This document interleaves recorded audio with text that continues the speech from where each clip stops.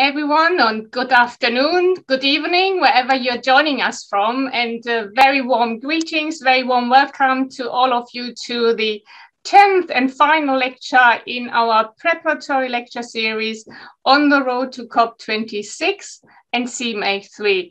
Now, as many of you already know, this has been a joint undertaking between Professor Nilufer Oral, who's the director of the Center for International Law at the National University of Singapore, and Professor Christina Voigt, who is a professor at Oslo University and the newly elected chair of the World Commission on Environmental Law of the IUCN. Uh, she sends her best greetings today. She can't uh, do this session because she's got conflicting commitments, but she will certainly look at the recording. As uh, many um, of you know, this is all being recorded and made available after the lecture. Uh, now, I'm also grateful again for um, Stan Neil, who's been with us through the entire lecture series and organized this on behalf of Durham Law School, uh, jointly with Jerry from uh, the CIL at uh, National University of Singapore. And they both have done a really marvelous job in supporting us throughout this entire series. So a big thank you to you as well, Stan. Um, and um, now I would like to introduce our final speaker in this lecture series.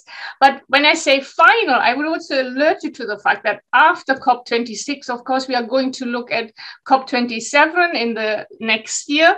And we would like uh, to invite you to uh, probably hybrid and online um, panel on the 26th of November. More information will be going out in due course, and this will bring together again all speakers in this series, and they will provide a short introduction in terms of what has now happened during COP26, uh, and then open the floor to more questions and a very lively discussion to see uh, how we can bring together these events that have happened, and then uh, maybe be prepared again for the next uh, COP27 2027, but also for the global stock take uh, that will take place in 2023, as you know. Now, I'm extremely grateful and very excited to have Linda Siegele with us this morning. And uh, Linda Siegele is a real expert, uh, has been for a long time involved in the UNFCCC negotiations, and she's an environmental lawyer based in the UK. She's been involved um, in the negotiations, in fact, since 2005. So uh, this is really the time when the Kyoto Protocol uh, was uh, brought to life. And uh, so she will give us today an insight insight into a very important topic. She has focused on this for a long time on adaptation and loss and damage associated with the adverse effects of climate change. She's very familiar with the climate change concerns of small island developing states and has worked with them and of least developed countries. And she has directly supported country delegations through the provision of strategic, legal, and policy advice.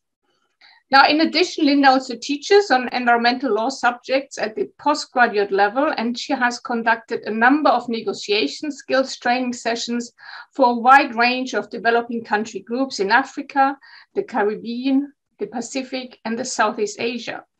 She has written extensively on a variety of environmental law topics and is currently working towards a PhD in the area of green building regulation. Now, her degrees include a Juris Doctor and a Master of Laws, and she's a native English speaker and very impressively fluent in Spanish, in Russian, and has studied German at the graduate level. So, Guten Morgen, Linda, and she will talk today about the compensation question, loss and damages. Thank you, Linda, and the floor is yours. Vielen Dank, Petra. um, I will now share my screen. Um, and then I will do my, my uh, introductions and thank yous. Um, let's see here. I hope everyone can see my screen. I'll put it in uh, presentation mode. Good. Um, first of all, uh, let me thank um, Nilufer and Christina and certainly Petra um, and Stan um, for uh, facilitating my um, attendance here. I have attended each of these lecture seminars since I think we were speaking about it being in February. So here we are in October, and I have the great pleasure um, of, of being the last speaker and, and uh, and uh, hope that I can uh, do justice to all of those who came before me who provided really compelling insights into um, the UN Framework Convention on, on Climate Change, um, the run up to COP26, and certainly the Paris Agreement. So, um, as announced, I will be talking about loss and damage. I've switched the title a bit um, because I'm going to focus on loss and damage, and compensation comes in for sure. But um, we'll see how it has been um, a potentially quite difficult issue over time. Um, I will begin by looking at principles of international environmental law. I think, first of all, my lecture will take about an hour, so I hope that we have plenty of time for questions and answers after that. Looking at principles of international environmental law, which I believe are relevant to the loss and damage debate or discussions um, looking at highlights of loss and damage in the UN system from before the time that the UNFCCC was um, agreed and adopted. Um, then looking at where we might be able to find loss and damage under the UN, the UN Framework Convention on Climate Change, the UNFCCC. Um, and then taking a, a kind of a side look at the intergovernment Intergovernmental Panel on Climate Change and their notions of loss and damage and where we find loss and damage in those scientific assessments.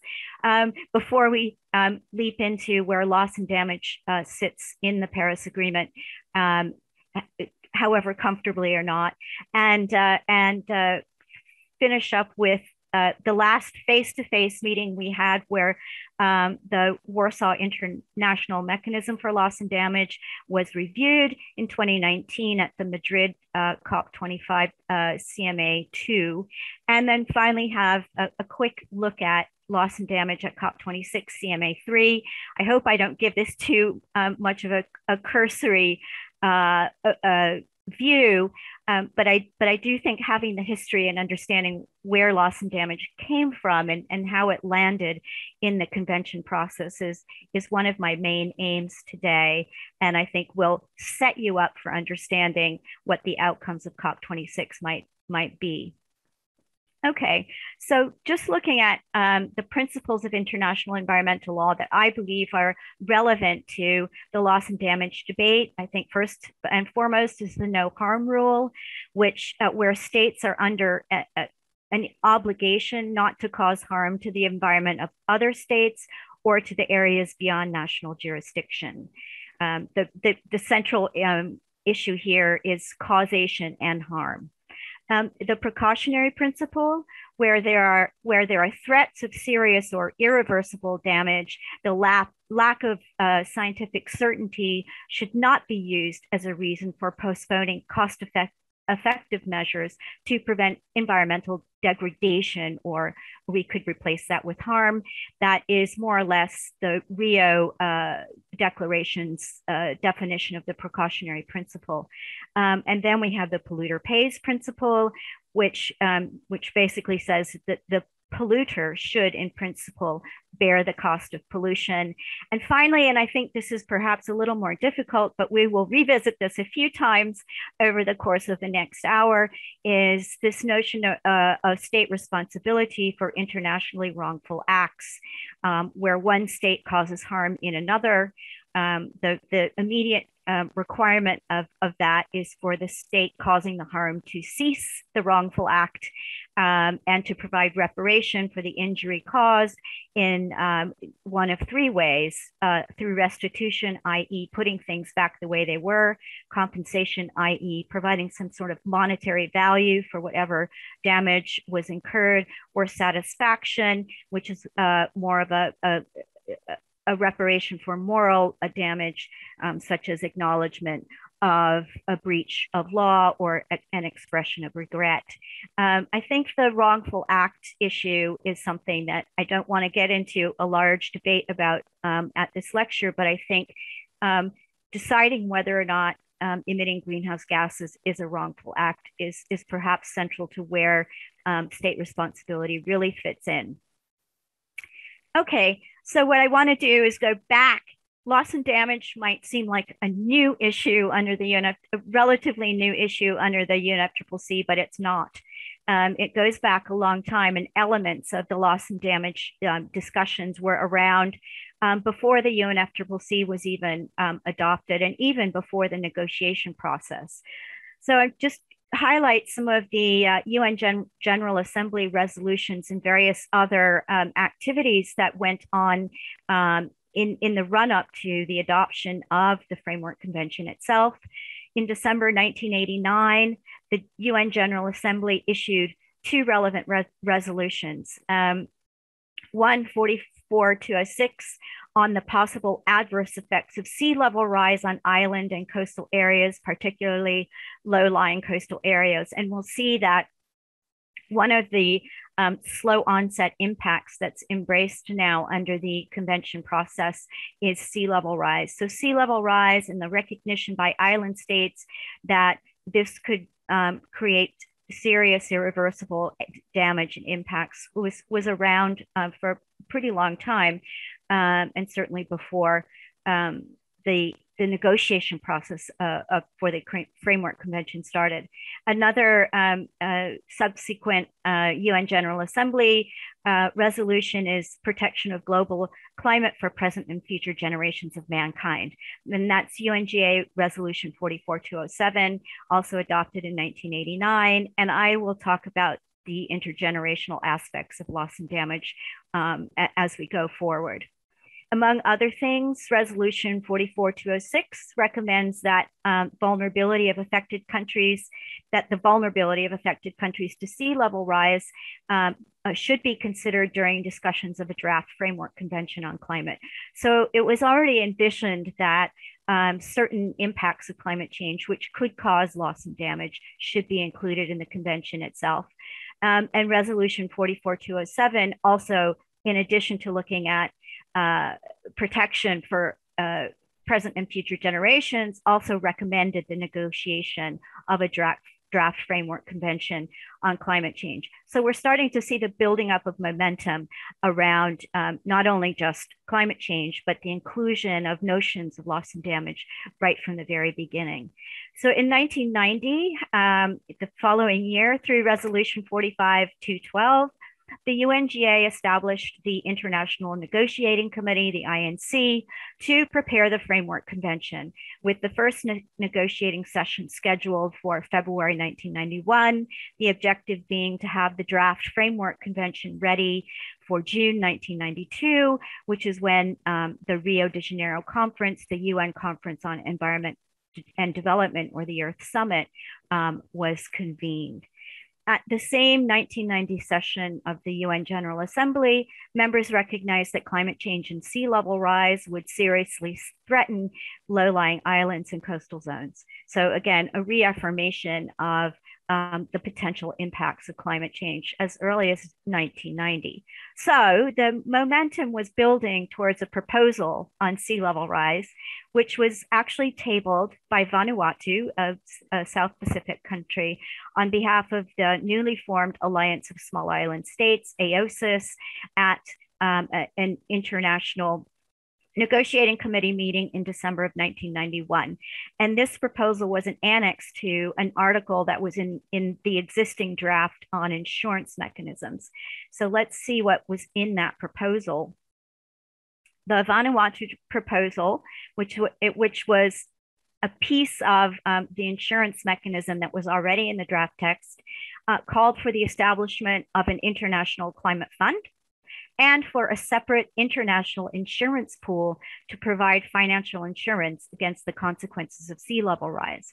Um, in formulating this insurance pool, parties would need to consider the methods of funding the pool, the types of loss to be covered, how to evaluate loss from sea level rise, and uh, limitations on the amount of compensation payable. So you can already start to see that there are uh, issues around responsibility, compensation, notions of irreversible damage um, entering into um, the, the negotiating process in 1991.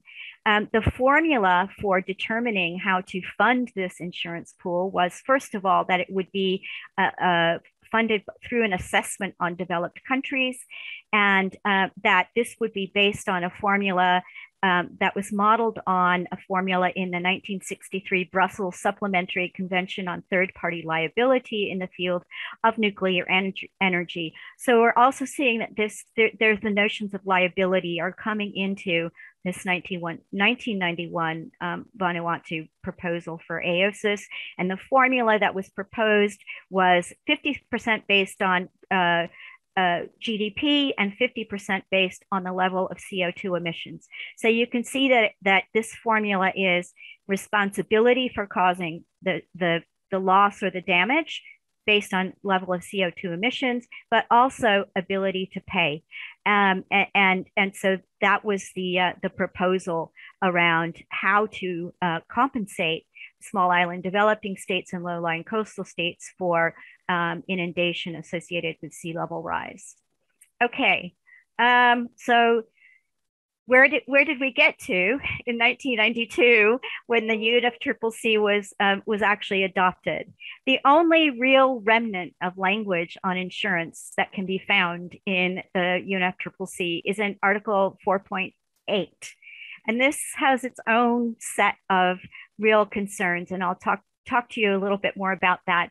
But uh, the, the chapeau of this article um, reads In the implementation of the commitments um, in this article, uh, the Article 4 is on commitments. The party shall give full consideration to what actions are necessary under the convention, including actions related to funding, insurance, the transfer of technology to meet the specific uh, needs and concerns of developing country parties arising from the adverse effects of climate change. Okay, so we're in, in adaptation mode and or the impact of the implementation of response measures. What are response measures. Those are measures that countries take to mitigate their greenhouse gas emissions. And so this is linking um, uh, adaptation to the adverse effects of climate change with impacts on countries um, that have fossil fuel based economies um, and, and may have economic may suffer economic losses as a result of a transition or transformation of our economies to a low carbon um, emitting society. So it, those are, are very opposite and very strange bedfellows, and we'll see how um, how difficult that became certainly in the early years around discussions on adaptation. The the largest so that that's sort of where insurance landed in the UNFCCC. Um, flying out and, and, taking more of a helicopter view of the UNFCCC, I want to kind of highlight areas where we find notions around duty of care, um, responsibility, uh, and, and, vulnerability. So we start with the preamble, um, which uh, notes that the largest share of historical and current global um, uh, greenhouse gas emissions uh, has originated in developed countries. So we're starting to see a notion around responsibility for, for impacts. That the global nature of climate change calls for an international response, um, but that this response must be in accordance with the notion of common but differentiated responsibilities and respective capabilities. So there's there there's already a, an understanding that responsibility is on all parties to meet their obligations under the under the convention, but that some parties are more capable of meeting those responsibilities than others. Um, that states have the sovereign right to exploit their natural resources, but the responsibility to ensure that those activities within their jurisdiction or control do not cause damage to the environment of other states. So this is in the preambular language of the UNFCCC, um, a restatement of the no harm rule. Um, and then finally, um, it recalls a number of the UN General Assembly res resolutions, which I, I looked at um, a, few slides ago, including the 44206 uh, resolution from 1989 on the possible adverse effects of sea level rise on islands and low-lying coastal areas. So that's the preamble. It sets us up for the operative part of uh, the convention. The objective itself, the ultimate objective of, of the convention is to stabilize greenhouse gas emission concentrations to prevent uh, dangerous human interference with the climate system.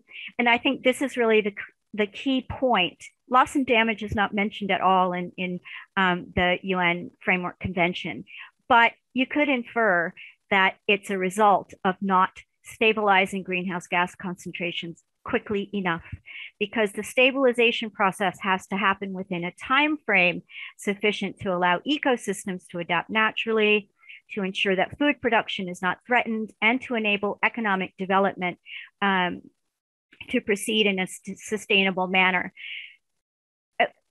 if if that if that time frame is missed and if stabilization of greenhouse gases hasn't happened soon enough and we'll look at the science and what the science is saying about those time frames then um, the, a, a, logical possible outcome of missing that time frame is loss and damage. So there's kind of an inherent understanding even in, in the ultimate objective from my per- point of view um, that that that loss and damage is is is a possibility um, just to look again at the principles of the convention and where I find responsibility and and and uh, and and a duty of care um, around potential uh, liability or cause um, that parties should protect the climate system on the basis of equity and in accordance with their common but differentiated responsibilities and respective capabilities, and that developed country parties should take the lead in uh, combating climate change and its adverse effects. So we see a differentiation of responsibility, again,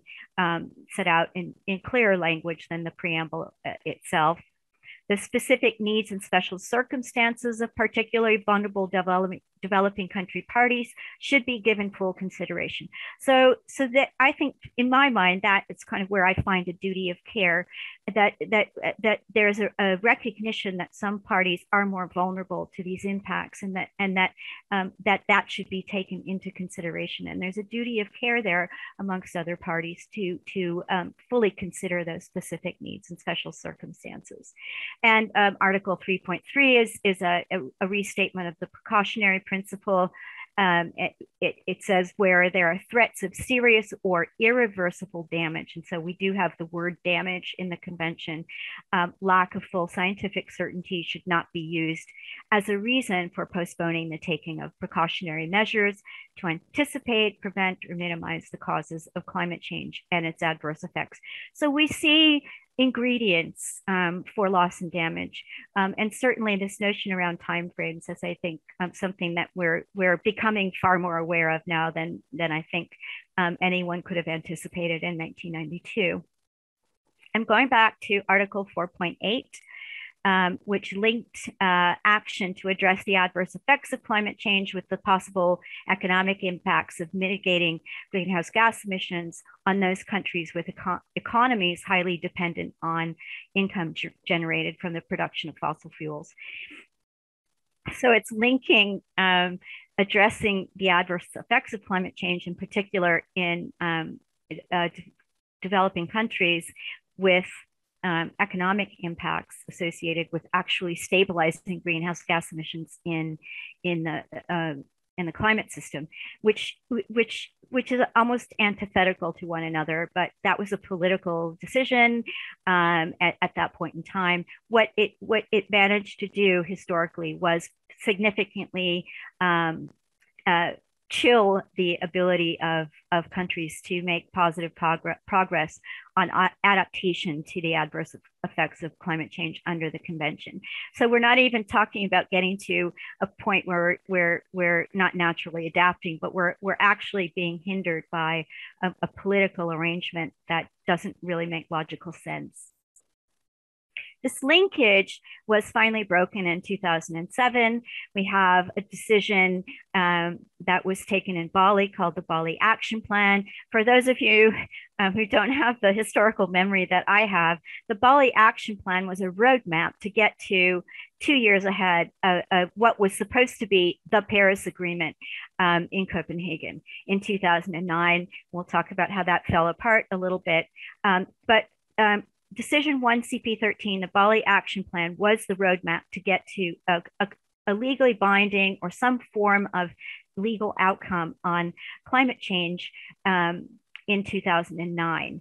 Um, and this decision severed the link between response measures and um, the adaptation to the adverse effects of climate change. And I think that was a really important moment in um, the convention, the history of the convention, because finally um, we could look at impacts on vulnerable countries and and the the economic um, associations with with mitigating and moving towards a low carbon society. So the the Bali Action Plan sets response measures in a, a, a paragraph on mitigation, and it then sets out a, a, a whole subparagraph on enhanced action on adaptation which, eh, like I said, is, is, is was a watershed moment. Um, moreover, this subparagraph 1C in the Bali Action Plan includes provisions on risk management and risk reduction strategies, including risk sharing and transfer mechanisms such as insurance. We're, we're starting to see these notions of the Vanuatu proposal come back into the convention process here. And uh, this separate paragraph also talks about means to address loss and damage. So this is really the first time that loss and damage as a term enters the convention process associated with um, the climate change impacts. Um, so, so just giving you some, some history here on how loss and damage re-entered the process. In the run up to COP15, which was the Copenhagen COP in 2009, a number of parties put draft textual proposals for legally binding agreements on the table. Um, and I can think of several examples the African Group of Negotiators, the Alliance of Small Island States, and the least developed countries put uh, on the table draft text that they would hope would be adopted in Copenhagen. And each of those that I just mentioned included some form of paragraph or some mention of loss and damage. So, loss and damage is not only in a decision, but it's starting to be put on the table as a potential element of a legally binding agreement. Um, unfortunately, Copenhagen kind of ended in in a shambles. I was there; it was was really disheartening, I must say.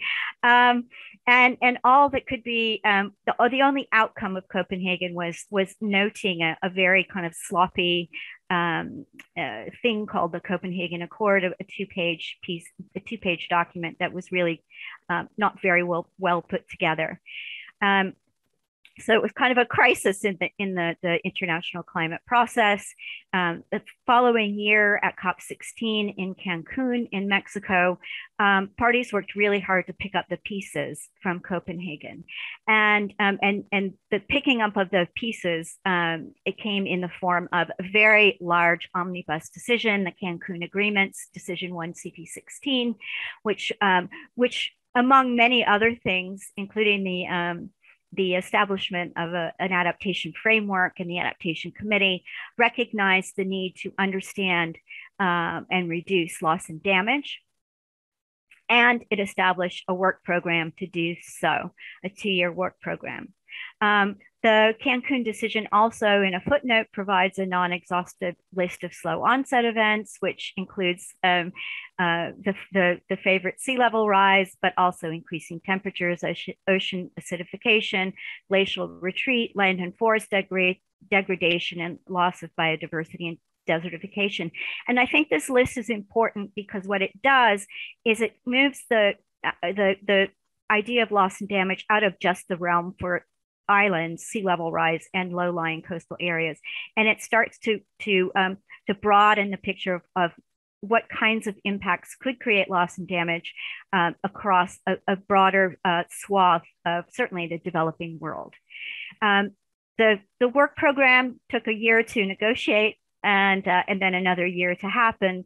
Um, and uh, at COP18, uh, two years later in Doha in 2012, parties agreed on the role of the convention in promoting the implementation of approaches to address loss and damage. And the next slide, we'll, we'll talk about that role. Um, and it envisioned the establishment of institutional arrangements under the convention um, to do so. Uh, parties kind of ran out of time um, in Doha um, for uh, uh, for agreeing on the nature of these institutional arrangements, but set the seed for that to happen in the following in the following year um, at COP19. And so this is what I'm going to talk about now is this institutional arrangement, which is known as the Warsaw International Mechanism for Loss and Damage. Um, it's, a, you know, in in the world of uh, of acronyms that we live in in the UNFCCC, it's it's um, conveniently known as the WIM, and I will call it the WIM from now on.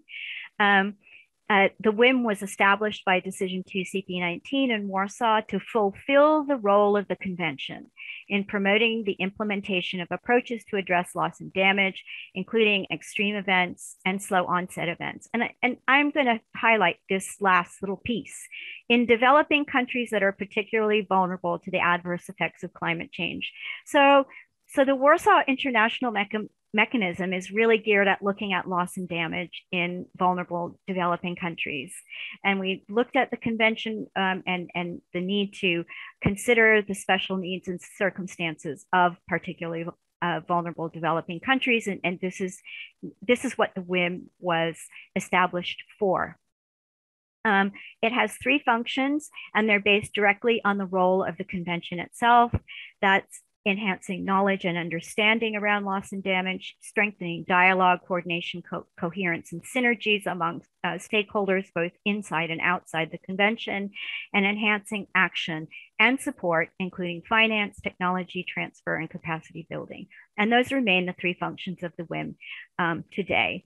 Um, an executive committee was established to guide the implementation of the functions of the WIM, um, and um, and and that continues to operate now, and we'll talk a little bit about how the WIM, uh, WIM ExCom is, is set up. Um, but also in that Warsaw decision, it's notable that the WIM was established under the Cancun adaptation framework. So this idea that um, loss and damage is sort of an extension of adaptation um, what was, was continued. Um, it was a concession on, on the part of some parties.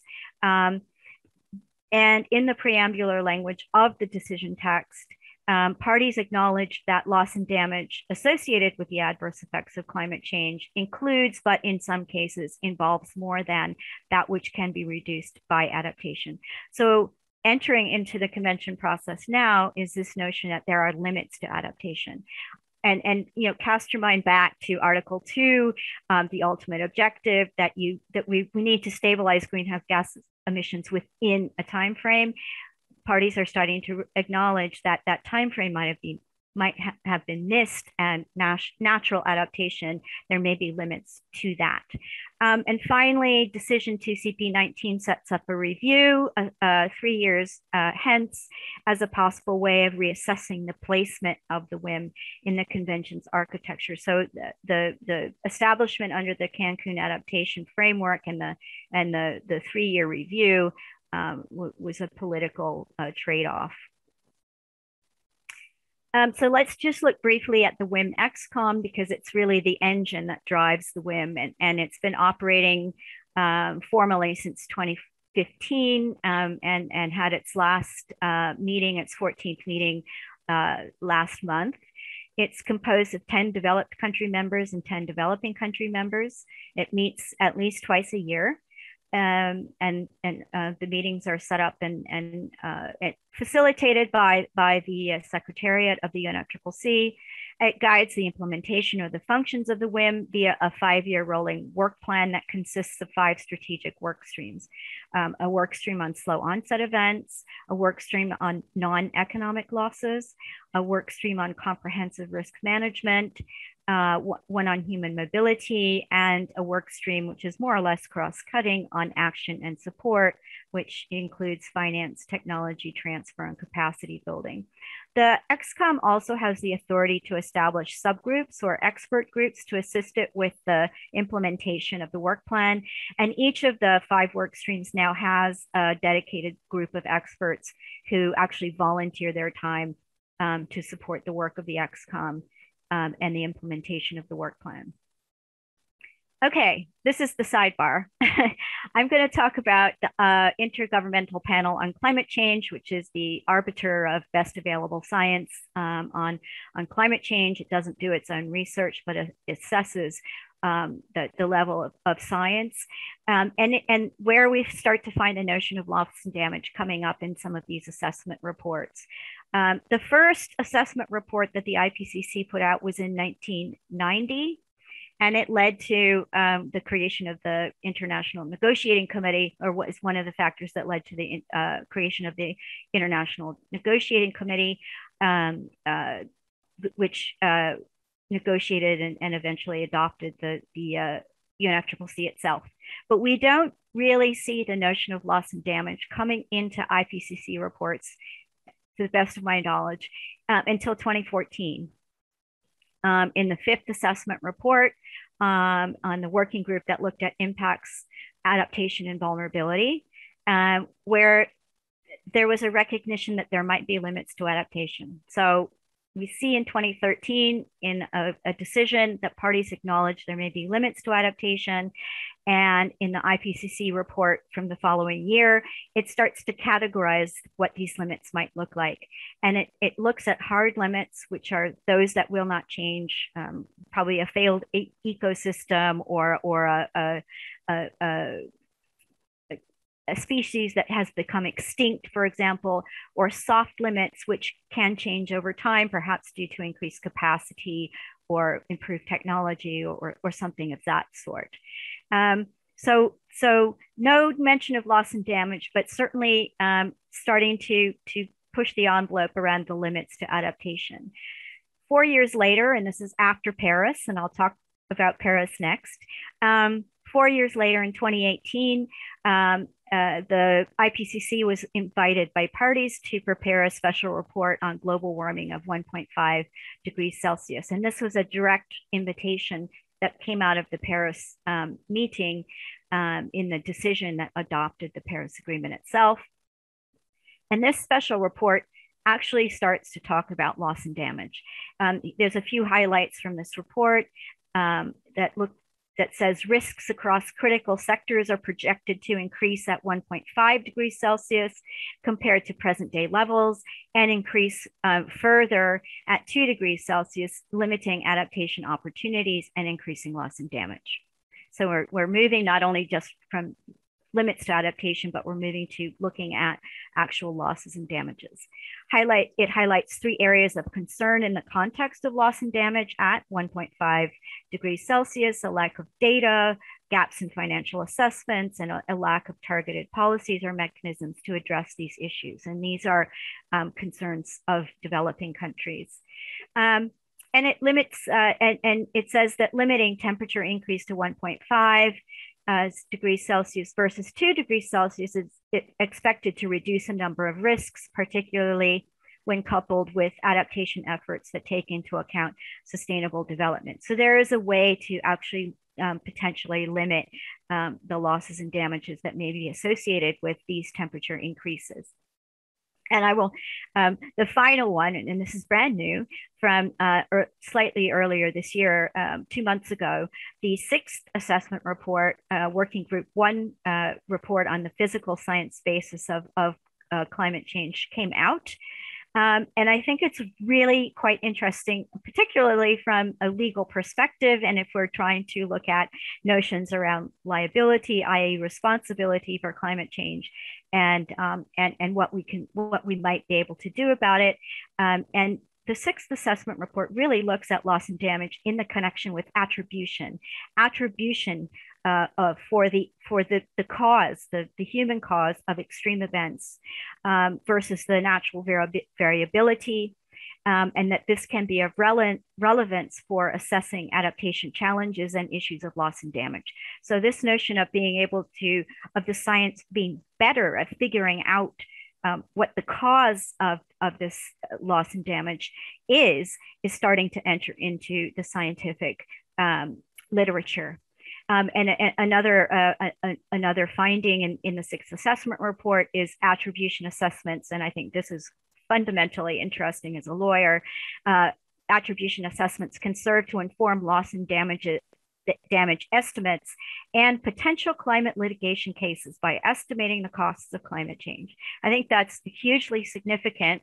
Um, certainly, this litigation is is is uh, probably envisioned to happen at the domestic level, but nevertheless, um, we're bringing in um, a, a, an ability to identify and quantify um, the costs of climate change and potential loss and damage. Okay, so take a breath. We looked at the science, um, and we're going to kind of finish up now um, with a look at how loss and damage uh, is portrayed in the 2015 Paris Agreement. Um, so, Article 8 of the Paris Agreement, in Article 8, um, parties recognize the importance of averting, minimizing, and addressing loss and damage. And these two new words, averting and minimizing, have entered into the loss and damage vernacular.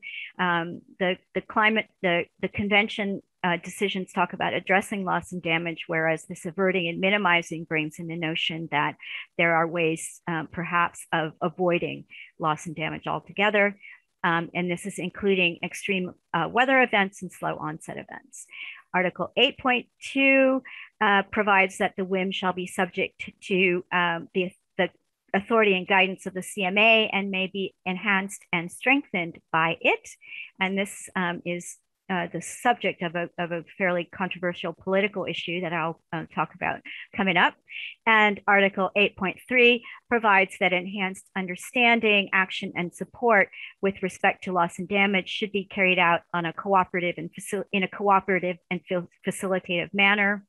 And then Article 8.4 lists the areas of work for this co cooperation and facilitation. And this include early warning systems, emergency preparedness, slow onset events, um, comprehensive risk management, and a number of others. Um, sort of kind of a random, non-exhaustive list of, of areas of work. Um, so this little, um, these three bullet points are my own personal um, assessment uh, of, of Article 8. Um, Outside of the use of the word support, there are no provisions in Article 8 for financing approaches to address, avert, minimize, and address loss and damage. So the word support is, is all you really get within the, the bounds, the four corners of that article.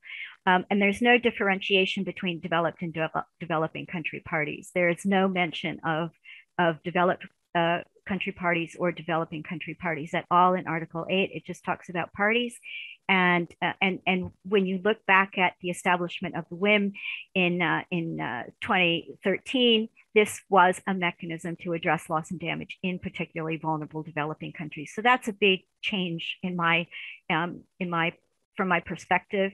And then finally, the, the big kind of kicker is in Decision 1 CP21, paragraph 51, parties agreed that Article 8 of the agreement does not involve or provide a basis for any liability or compensation. Um, it's a fairly famous article, paragraph 51. It, it doesn't sit in the agreement itself. Um, it was that that language was originally in, in uh, agreement language. It was moved to the to the adopting uh, COP decision.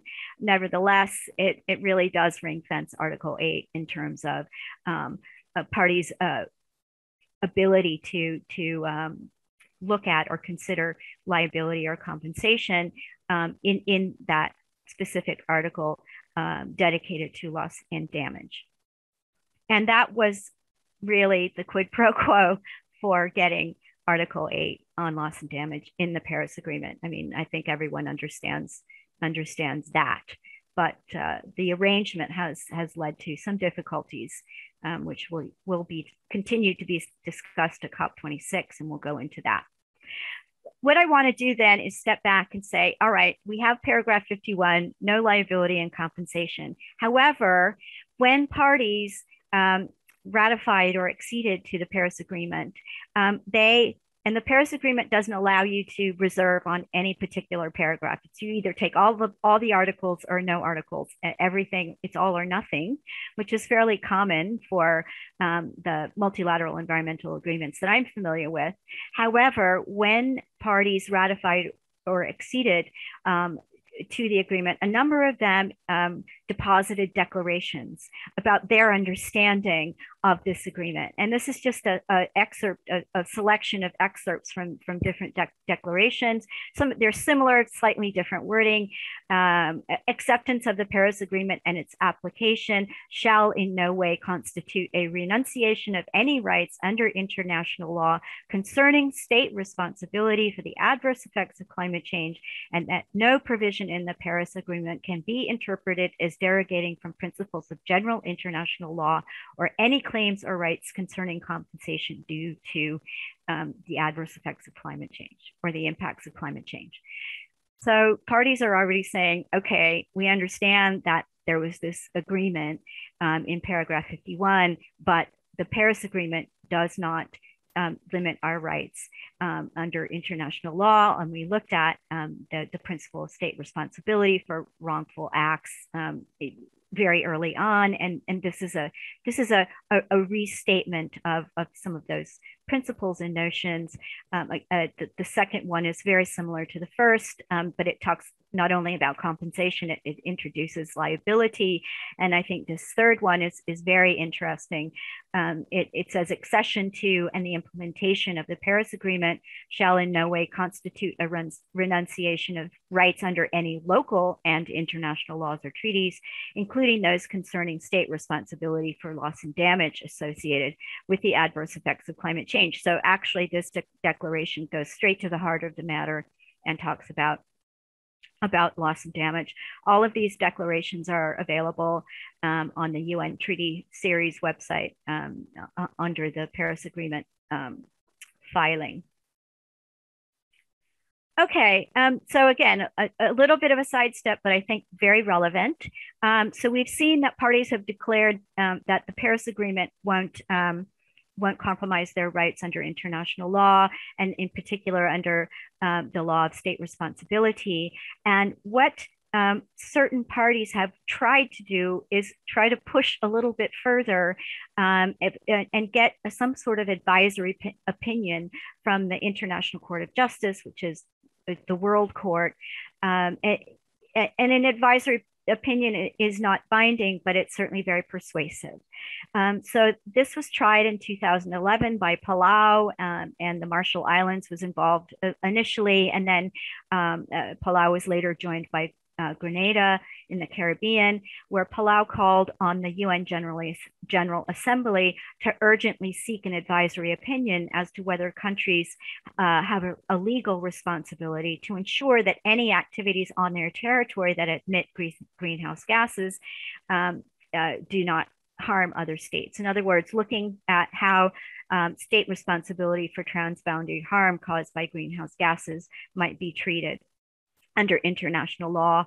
Um, it, it really didn't go anywhere. There, there wasn't a, a, a majority uh, of, of parties in the UN General Assembly who agreed to make that call. Um, but during during the about two or three years that Palau was putting this um, proposal forward, um, it stressed that it was not the intention to focus blame on major emitters of greenhouse gases. Um, it was to recommit um, parties to the urgency of, of having a, a, set of normative standards established around climate change to complement the work um, under the UNGA and, and the Intergovernmental Panel on Climate Change. So I think this this uh, and this was part of a press conference, so it's loose language. It's not legal language, but this notion that some countries are really concerned about uh, blame and focusing blame and and um, and then the the position at least the stated position of a number of other countries is no we're not trying to focus blame we're just trying to um, we're, we're, we're trying to survive and, and we're, we're working to um, to understand what the legal process can help us do to, to get there um, 10 years later um, uh, and this hasn't this hasn't come in front of the UN General Assembly yet, but it's certainly been announced. Vanuatu um, who we met in 1991, um, is going to propose uh, that the UN General Assembly uh, uh, request the ICJ uh, for clarification of responsibilities for climate change under international law. So a, similar a cast of, of an advisory opinion from the ICJ trying again 10 years later. Um, this is a this is a, a, culmination of a campaign that was started by Pacific Island students fighting climate change. That's the name of their organization, and I think what's beautiful in my mind about this is that this is really brings in the notion of, of intergenerational impacts and future generations. And, and that this is something that was started by a group of students in the Pacific who are really concerned about um, the future of, of, their, of their region. Um, and, and so we, we, we, we go right back to the, the initial UN resolutions around future uh, uh, climate change in future generations. And I think this is a, a, a particularly poignant um, aspect of, of this uh, for me. Okay, I know I, I, I, know I may be bouncing around a lot, and we're ne- we're nearly done. I'm nearly at my hour. Um, so we saw that the Paris Agreement kind of has the four corners uh, uh, around Article 8, and it's very confined no liability and compensation. Parties are reaching outside the, the, the, convention process, certainly outside the Paris Agreement process, to make declarations about um, their understandings and, and searching for, for opinions around international law in this area. Um, but within the, the uh, Paris Agreement process, once it was came into force, there was a two-year um, period where parties had to negotiate the rule book for um, for this Paris Agreement because it entered into force before parties had the chance to do that. So in 2014, at the at the COP in Katowice, um, uh, the, the rule book, the Paris rule book, minus a few elements, um, was agreed. And this is called the Katowice Climate Package. And what happened over that two, or two year process from in, uh, entry into force of the Paris Agreement and the agreement of the rule book was that parties worked hard to hop out of the Article 8 confines and, and try and, and push loss and damage into um, the, the, uh, the, the ratchet mechanism or the process by which ambition increases over time under the Paris Agreement, and and and had a, a fair amount of success. Um, the enhanced transparency framework, which is a, the reporting process where parties report every two years on. Um, their uh, implementation of their nationally determined contributions. Um, there is a possibility for parties to provide um, information related to um, enhancing understanding, action, and support on a cooperative and facilitative basis. This is the language from Article 8 um, uh, to avert, minimize, and address loss and damage. So the, there's a possibility now through the Paris um, mechanisms to report on on a voluntary basis to report on loss and damage. So we we can find that loss and damage has entered into a larger sphere under the Paris Agreement. And there again, um, again coming out of Katowice under the global stocktake, which is the decision 19 CMA1, and, and Petra mentioned the, the, the uh, upcoming work on the global stocktake. Um, actually, the technical phase and uh, information gathering will start early next year. We see that loss and damage is uh, kind of um, sprinkled throughout the decision on the global stocktake. So parties may take into account efforts to avert, minimize, and address loss and damage um, when they're put, working on the technical assessment phase under the global stocktake. Um, relevant constituted bodies, um, including the ExCom, the WIM ExCom, are invited to prepare a synthesis, synthesis report on their work as a contribution to the technical assessment phase. So loss and damage will enter through report of the ExCom, and then the sources of income uh, input to the um, global stocktake um, include uh, input on, on efforts to enhance understanding, action, and support on uh, averting, minimizing, and uh, addressing loss and damage. So we see that um, the tentacles of loss and damage have have flowed uh, uh, outside uh, the Article Eight of the Paris Agreement um, through the implementation of the of the the rule book or the implementation of the Paris Agreement itself. Um, those were hard won um, battles, uh, but I think quite useful. Uh, this is the final slide before we um, get to COP26, which I know everyone is, is um, excited to, to uh, get to get to. Um, in 2019, the last face-to-face uh, COP we had, and certainly the last COP we had, uh, COP25, CMA2, um, the, the Warsaw International Mechanism had its second review, um, the 2019 review of the Warsaw International Mechanism. It, uh, it the, the outcomes of, of the review sit in a, in a CMA, a Paris Agreement decision, um, but there has been no uh, agreement so far on the governance of the WIM. Um, so there is a, a, a, mirroring COP decision which acknowledges the outcomes of, uh, of the review in the CMA decision itself. Um, there are a number of significant provisions on action and support, including finance, um, but no binding commitments on developed country parties to um, to continue to to increase um, their uh, funding for loss and damage. So lots of good things about said, said about the need to finance loss and damage, but no real commitment um, around that. Um, the ExCom, from a finance perspective, um, is engaging more uh, uh, more robustly with the Standing Committee on Finance. Um, it has been requested to collaborate with the Green Climate Fund to clarify how developing countries may uh, may may uh, access funding for loss and damage. Um, and a new body called the Santiago Network was established to catalyze the technical assistance of relevant organizations, bodies, networks, and experts for the implementation of, of uh, approaches to address loss and damage in particularly vulnerable developing countries. So at least we, we start to see the, the idea that um, loss and damage is, is particularly concerning for uh, vulnerable developing countries um, and that these organizations, et cetera, are to report to the ExCom on technical assistance, uh, the technical assist- assistance they provide. And, um, and this reporting uh, process began this year. Um, and um, the, nevertheless, the issue of governance of the WIM, whether it should be solely governed by the, by the, the governing body of the Paris Agreement, the CMA, or jointly by the COP and the CMA, was not resolved um, but there's a mandate to take up this matter at, uh, soon in, at COP26. Um, and, and, why is that important?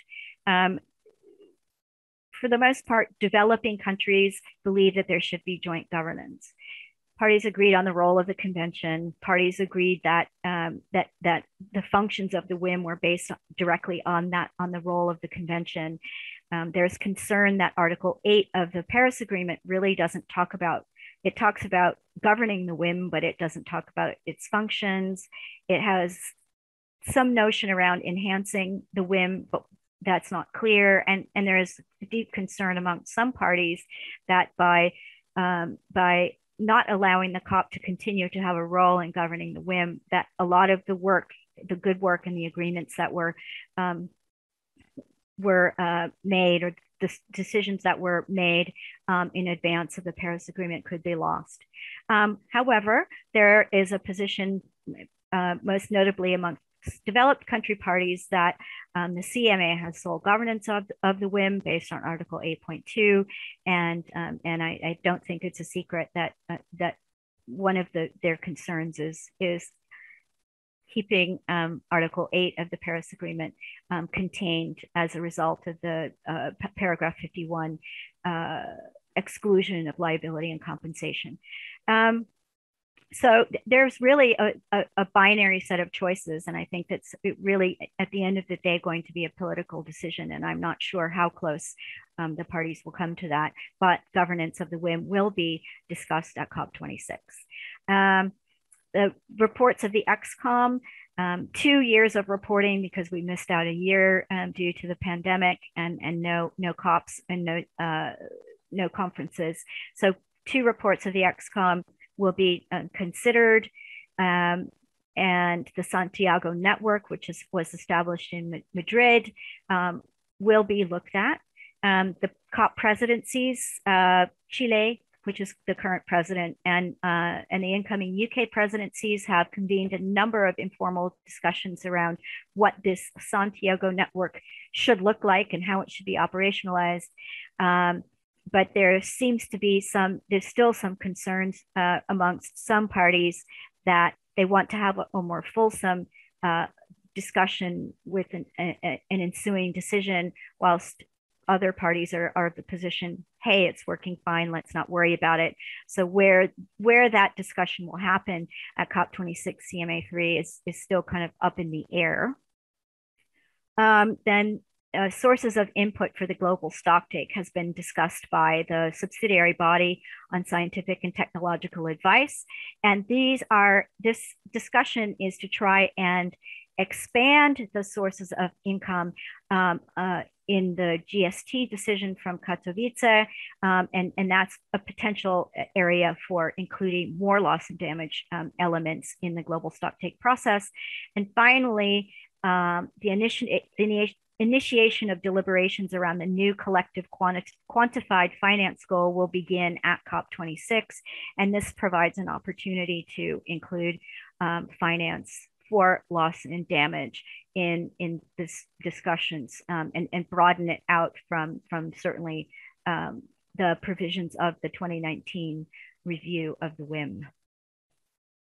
That is it. I think I met my hour. I, I know this was a real fast romp through romp through everything, but thanks everyone for your attention. I'm more than happy to answer any questions that I can. Um, it's a fairly complex set of issues and, and goes back much further than I think many of us ever realized it did.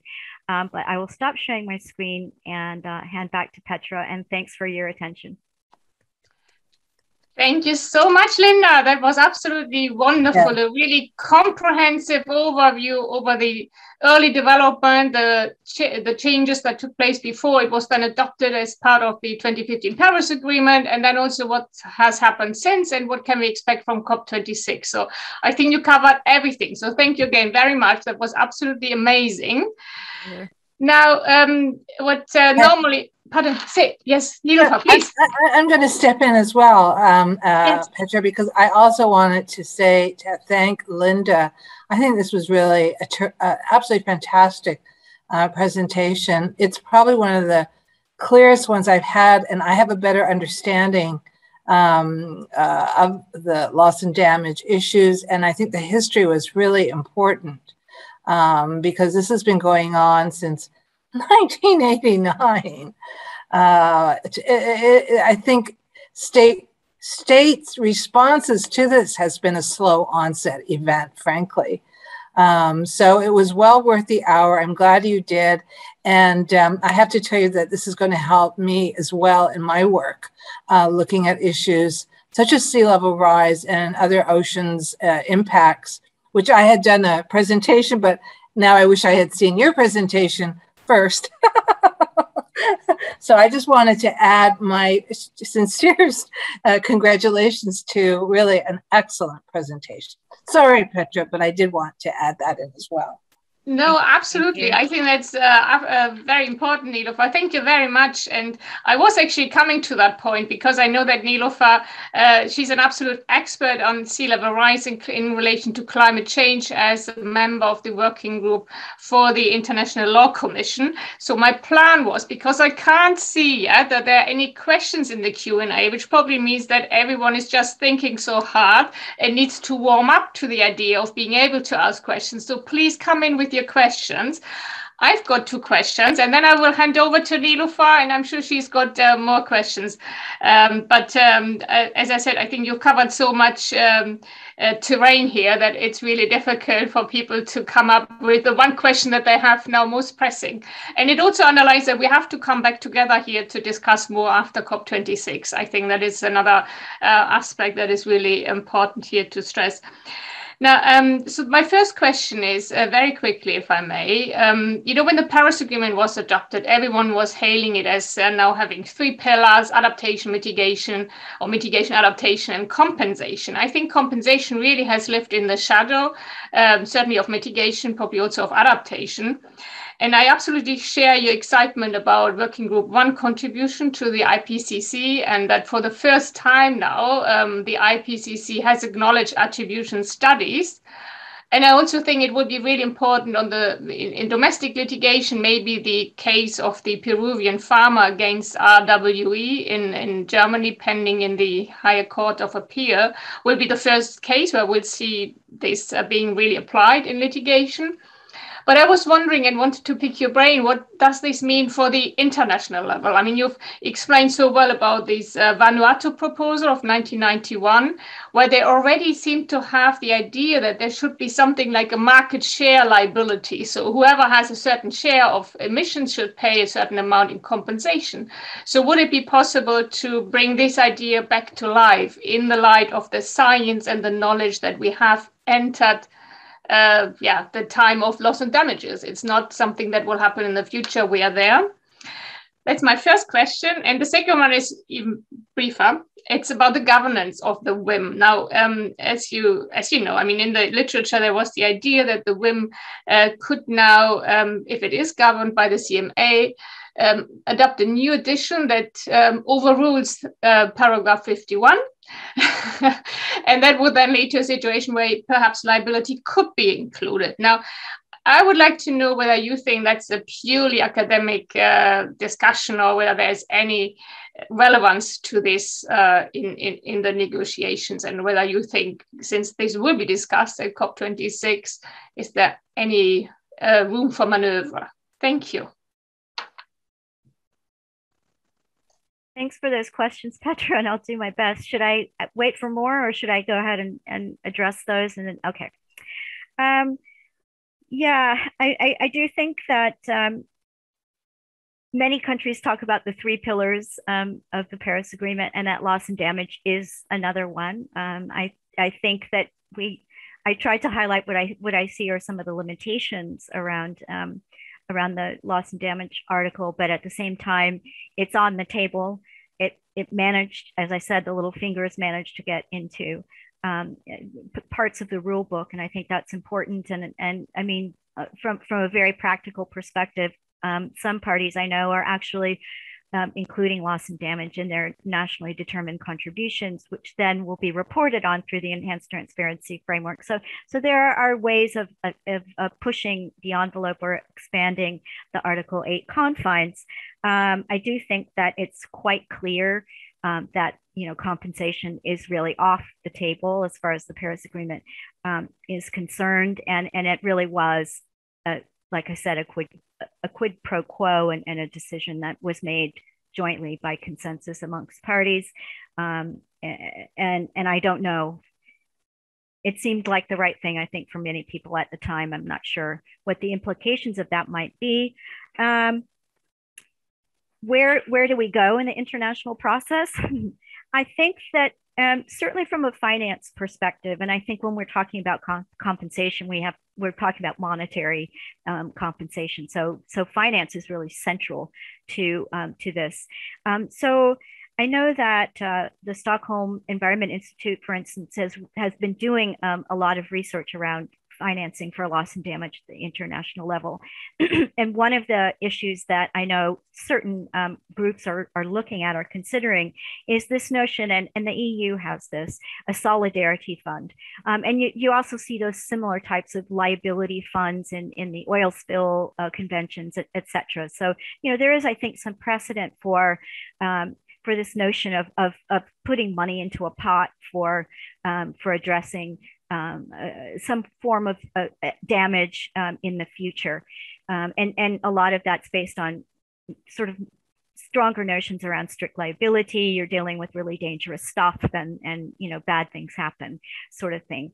Um, I think loss and damage is a little bit different in that respect. And, and it's not just a one accident type of thing. It's, it's especially with slow onset events and sea level rise, you know, you have this, this kind of creeping um, uh, irreversible damage. It doesn't just happen overnight, say with a, with a, a cyclone or hurricane. Um, nevertheless, I think that this idea of some form of solidarity fund, the model for funding it is, is I think, perhaps the, the, the, the issue. Um, for example, the Vanuatu proposal talked about only developed countries. It talked about responsibility in terms of uh, uh, volume of greenhouse gas emissions, et cetera, and ability to pay, I think it would be extremely difficult to agree on that form of a funding model right now because there the political aspects around that um, I think are are too great right now in my experience. But I don't think that setting up some sort of a, a sinking fund, which is a horrible word in this situation, but a solidarity fund is is is is a is within the realm of possibility and and certainly a lot of pacific island countries but norway and and um, and a number of, of developed countries have sovereign wealth funds that they use um, and and and fill up and use um, to um, to benefit other other areas um, and certainly um, environmental have have environmental uses. So this notion of a solidarity fund or some sort of international sovereign wealth fund, I, I think is is probably far more palatable um, to the broader range of, of parties. Um, so that that could be an, an avenue, I believe, um, to explore. Um, in terms of, of financing for loss and damage and, and, and how we think about compensation without calling it compensation um, around um, what science is telling us is going to, is going to be happening. Um, so I guess that would be one uh, approach to that. And I, I have followed the Peruvian farmer case, and I know you're extremely familiar with that yourself. And um, I, I, I, look forward to seeing how that might might uh, come out. I know that there's um, also some litigation that ClientEarth is doing uh, around um, similar issues in Europe, but also in Australia. And um, and so so I think there's potential there for litigation to also push some of the boundaries uh, around that, but maybe at the national, not international level. And then on the governance um, issue, um, yeah, I think I think per, at least for now, uh, I think that might be a, an academic argument around rescinding paragraph 51. Um, that was that's that that was there for a reason, and it provided enough certainty um, for some parties to be able to um, adopt the Paris Agreement as it is now. And I don't really see those similar those concerns going away anytime soon.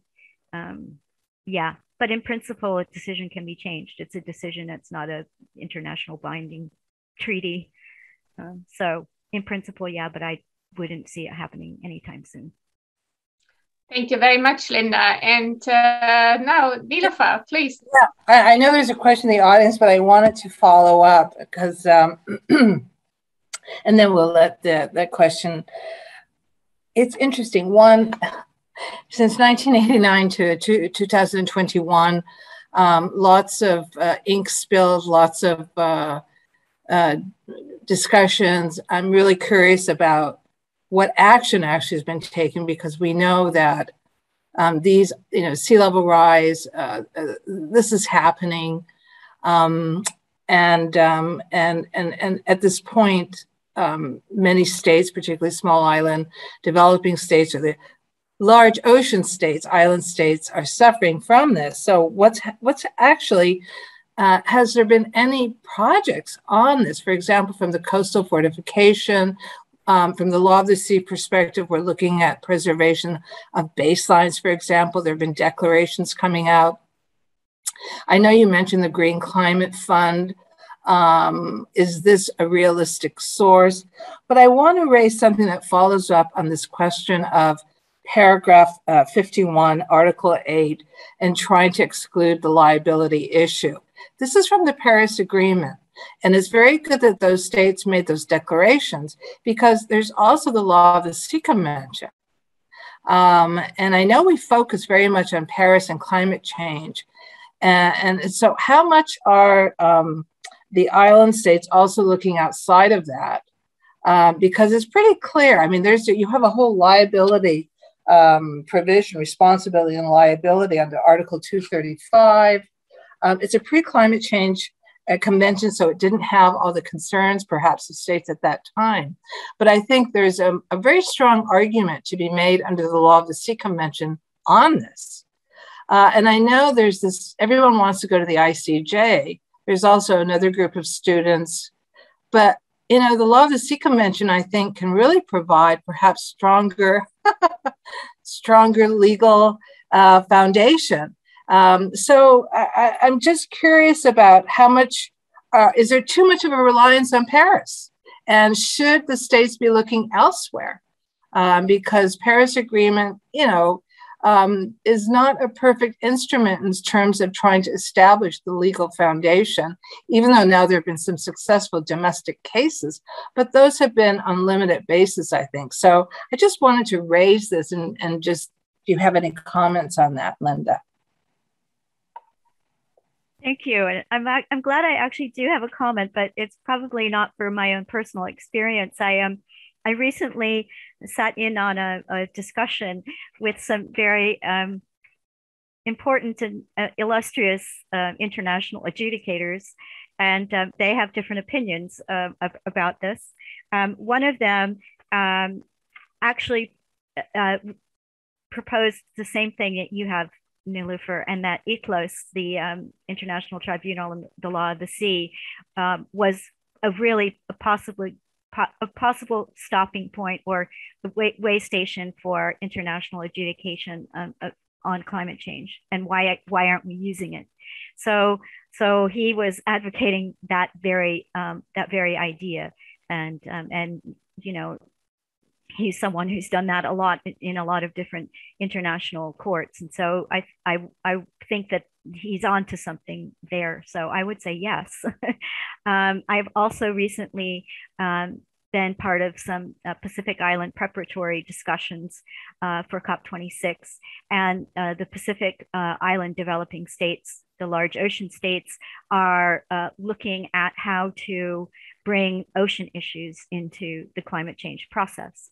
And um, some, and some of those um, issues um, around sea level rise, um, the, the, the requirements under the law of the sea around your EEZ, the, the environmental requirements, et cetera, are, are areas of law that they're thinking about um, in, in connection with climate change. So there are, there are people um, moving in that direction, um, which I think is, is really exciting.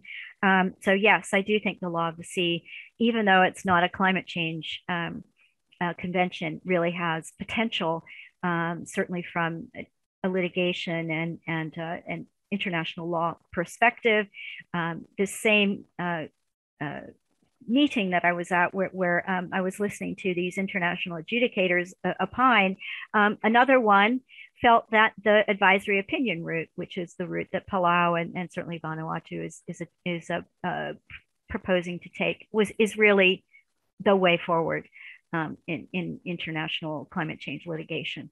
Um, and and uh, and, and because there hasn't really been in any international climate litigation um, to speak of at all. Uh, it's all it, it all really is happening at the domestic level, and and and what the connection or you know uptake um, will be in terms of the modeling and costing and attribution that that gets played out and and experimented with at the at the domestic level. It could well filter up. I don't know, um, but. Uh, yeah, I think I'll probably stop there because um, I, am not sure I, I, have anything more worthwhile to say uh, about that, but to but to say, yeah, I think the law of the sea and that area is definitely a, worth um, exploring in more detail. Yeah, thank thank you very much. I think we absolutely need. Uh, a roundtable talking about litigation proposals at the international level and how everyone can feed in here. So thank you for that. And uh, there's a question as well. So again, encourage you to ask your questions. Now you've got uh, Linda as an expert here and also Nilufer who can answer questions on these uh, aspects. Yes, sea level rise. Uh, so I read this out now, Linda, if, uh, if I may. Thank you very much. It was a very comprehensively prepared and interesting presentation. Uh, there is so much to discover on this subject. I agree with Petra that loss and damage lives in the shadow of mitigation and adaptation. Would it be fair to say that developed nations focus on mitigating their emissions and look to adaptation to protect their own populations first, leaving loss and damage last on the list? How can the loss and damage concept be brought to a wide audience outside of the academic sphere to drive action by governments in this area? That's from Kiara O'Connor, by, by the way. Thank you, Kiara, for that question. Thank you, Kiara. Um, it, it's a I think it's a hard one, actually. Um, I don't think we can afford at this point to um, to leave loss and damage out of the equation because it's happening right now, and I, and it's happening everywhere. Um, I think the what, what's happening in the west coast of the United States with the fires, and, and certainly in the in the bush in Australia, um, but but far more severe um, tropical cyclones. It, it, it is a, a, impacting everybody. And it's not to say that um, the impacts are, are better or worse if, if you're a developed or a developing country, but most developed countries have the wherewithal to, um, to repair their repair the loss and damage that is is incurred in their countries whereas many of the um, the developing countries that are feeling these impacts one don't have the capacity or the the the um, the wherewithal to to do that but also um, you, you get into a, a, climate justice and fairness um, discussion here which i really didn't bring in um, uh, very much in my in my presentation, and perhaps I should have done that more. But those, especially uh, small island de- developing states and uh, least developed countries, and and many countries in uh, in Africa, um, are, don't ha- have hardly any emissions at all and the damages and the losses and, and, and the impacts that they're feeling are, are not a result of, of anything they can control. And, uh, and so I think that there's a, there's a, a, a moral uh, question here in terms of, of addressing loss and damage in, in those countries. Those countries aren't sitting back and waiting, you know, for a handout for sure. Um, but, but they certainly don't have have the the historical responsibility for the impacts that they're feeling. So I don't think you can leave loss and damage till later. Um, I may not have fully understood your question, but there is a direct link in the and the science is telling us this too. The the the, more quickly we reduce greenhouse gas emissions, faster, like 2030 is the new 2050, the less we will um, we will need to adapt and the less we will start the less we will see loss and damage associated with the impacts. So there's a direct relationship between um, mitigation efforts and potential loss and damage. Um, so so it, I don't think it's a I don't think it's a linear path. I don't think you do this first and then you deal with that and then you deal with something else. I think you have to look at the the picture as, as a whole, and um, and, and uh, address that. And you also have to be uh, cognizant of the moral um, and, and equity issues associated with it as well. Um, I'm not sure how well I answered your question. Thanks.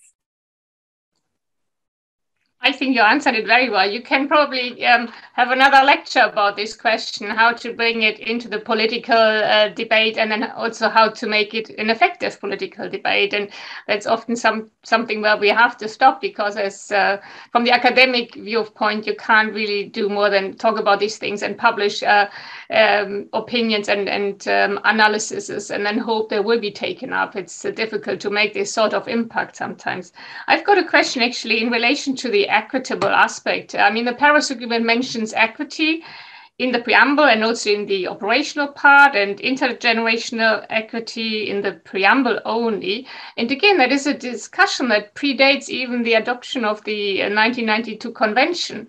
And we haven't really seen uh, much progress being made there. But now in this reporting uh, for the NDCs and in the information that must be submitted by states for the NDCs to enhance transparency, clarity, and understanding, the, many of them have um, uh, filled in a section where they explain how they consider their own contribution to be fair and, uh, in that sense, equitable. So I'm wondering whether you think any potential that this will now, if we go through the first reporting cycle, that all hasn't st uh, started. And I, I, really like that point when Christina focused on that and said that, you know, we haven't seen a full uh, cycle yet, not from the global stock take and not from the um, transparency framework. So if that now happens, do you see that there's then hopefully any potential in bringing in equity more as a legally effective concept and not just a nice phrase.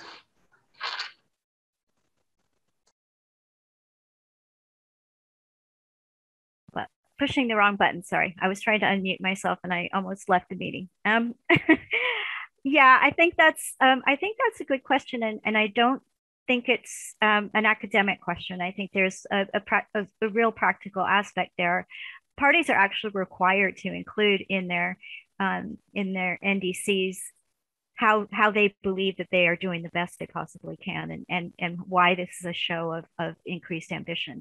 Um, and and and so I think that's probably the hook to to the, equity question. The GST um, must be um, uh, must include an equitable approach um, to this collective assessment of how well we're doing. Um, I mean, it's collective. Um, the, the idea is that, you know, it, it's not a blame game. It's, it's a how well are we all doing collectively, but that there needs to be an understanding of the, the, um, the outcomes of the GST that equity has to figure into um, what, what do we do next. Um, so I think it's already a piece or part of um, not just the preamble of the of the Paris Agreement, but it but it's embedded in in the machinery of the Paris Agreement. I've been uh, party to a couple of discussions around equity and how that sits in the GST. And uh, while it's there, no one seems to be able to define it um, outside a kind of more, more kind of airy fairy term. Um, and, and, and so I think that that is probably where academics could be very useful in terms of trying to um, help parties articulate what this equity concept that that, that is sitting in um, in the Paris Agreement and in the subsequent rulebook decisions. How how do you how do you actually implement that piece of it? Um, so it's there, but um, but there are practicalities I think that that are are, ch- are challenging in terms of perspectives on what equity really means. Um, so perhaps some clarity from from the academic community would be really useful in that respect. Thank you very much, Linda. I've got another question here, and I think after that I will hand over to Nilufer in case she also has a remark or question, and then we're probably approaching uh, the end of our time. So again, uh, from Kimberly Graham here, thank you very much for the comprehensive presentation on loss and damage. I'm interested to hear your thoughts on what some of the differences maybe that flow from the WIM being jointly governed by the CMA and the COP um, um, as compared to so governed by the CMA. And then a, uh, another question, a little one on the side, she's saying, uh, given that states are beginning to acknowledge that the time limit may have passed to stabilize greenhouse gas emissions to meet the objectives of the UNFCCC, where does that leave the objective? it's another lecture.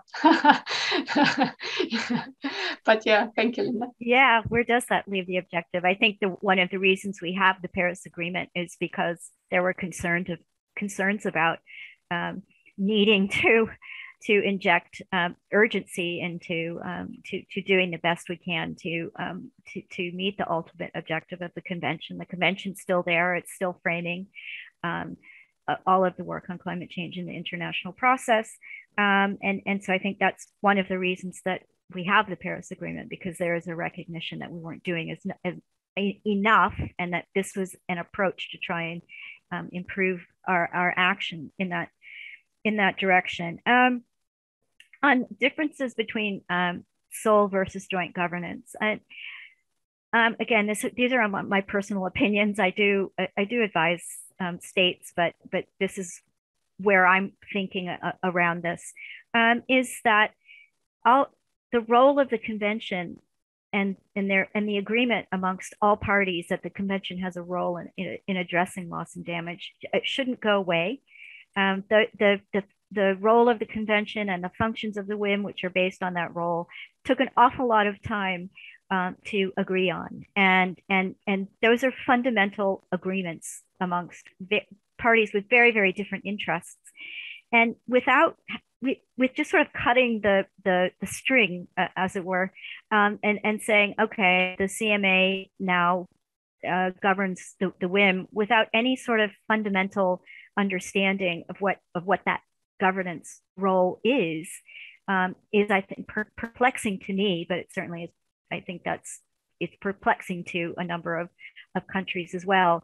Um, and, and so just saying, okay, it's this all the CMA now, without creating any sort of bridge or any any kind of of legal recognition of what went before and the role of the convention, um, etc. It, it, it, leaves you in almost a limbo land, and I think that um, a number of countries are really concerned about that. Um, again, going back to that quote that I had in, in my in my presentation, it's not about blame. It's not about um, you know pointing fingers and laying blame. It, it's about having as comprehensive a, a, foundation as possible for addressing loss and damage, and um, and not to kind of just say, okay, well that that's no longer relevant anymore. And I think that's really kind of the crux of the concern around the governance discussions right now. Um, yeah, I think I might have answered Kim's questions. Yes, thank you very much, Linda. And we've really um, had a lot of your time and a lot of your great thoughts here. I'm really grateful for that. But I want to hand over to Nilufer first again. Uh, thank you. Gosh, um, we could go on and on, and I hesitate because I know we've come to the end of our time, so I really hesitate. But I will, I will just um, uh, perhaps ask one question, and for me, it's really to understand. I mean, again, against the background of decades of work, and um, and now this WIM mechanism and it is supposed to be different, of course, from the adaptation framework. Um, you also have these disaster frameworks. Uh, so WIM should be something standing alone. But I guess my question is Has there yet been a concrete proposal, outcome? Um, it, to me, it all seems very abstract right now. Um, so, what is it that the, um, particularly the, um, the developing states, concretely would like out of um, the WIM mechanism. And I just wanted to add one thought on, on the, that question on the um, joint uh, governance. Um, is there also concern that uh, one thing, and you mentioned, you alluded to, and I think this, is one of the issues for the Paris Agreement, that it was intended really to eliminate the annex division. Um, so the division between uh, particularly Annex 2 countries that were responsible for funding um, and I'm wondering, is there any linkage with that, um, that the Paris Agreement does away with that differentiation? I mean, that's debated, but the idea is it does. So if we have time, um, but uh, otherwise, it was really a fantastic. There's so much we can talk about, and I do hope we can continue this, Petra, after COP26. if, if Nilufer, I'll, I'll be really, really brief. Um, and then I'm happy to have an offline conversation with you about this stuff um, later. Yeah, after decades of work, you know, why are we, why are we, why, why are we still here? There is work on being done on loss and damage. Um, there's there's comprehensive risk management. Um, a, lot of countries are now including um, limits of adaptation in their national adaptation plans, for example, um, or or or in their NDCs. And, and these instruments have been funded and are getting funding. So that's one route into perhaps looking at loss and damage related um, issues at the national level, especially if if your NAP is a sectorial, you know, uh, divided up sectorally and that sort of thing. Um, and and the the Green Climate Fund is limited.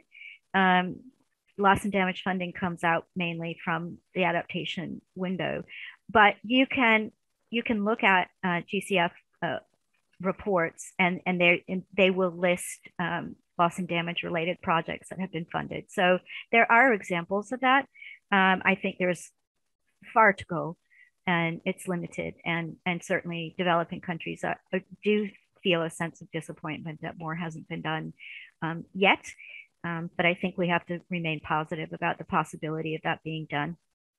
Um, and and then uh, yeah, uh, there are the expert groups of the of the ExCom bring in a lot of expertise from the disaster risk reduction reduction community, from the finance community, et cetera. And so there's an understanding that the WIM is a standalone um, institutional arrangement, but it can only survive with with you know putting its tentacles out there into into other um, international and regional regimes where where there's a, a, a wealth of expertise on addressing loss and damage. So I think I'll probably stop there. Very good. Thank you. That was great. Thank you so much. Yeah. Yeah, again, Linda, thank you very much. Absolutely. I mean, a very insightful, tremendous uh, lecture, sharing your expertise here with us. Uh, so much to think about and to follow up on. And this is to be continued, as Nilufer said. Absolutely. Really agree on that. So thank you again very much. Thank you to the audience as well for your questions Thanks, and for staying with us on the road to COP26, CMA3, and hopefully we will see you then after COP again in November on the 26th for a roundtable, probably again online. And more information will be going out, and the slides and the recordings will be made available with everything else that's already been made available in this series on the YouTube channel for CIL, but also for the IUCN and the law school and the university. Uh, so please look that up. And uh, thank you again very much, all of you, Nilufer as well, Linda. Thank you, um, Petra. Dan, Thanks, thank Nilufer. Bye. Thanks, Dan. Bye-bye. Bye, Thank everybody. So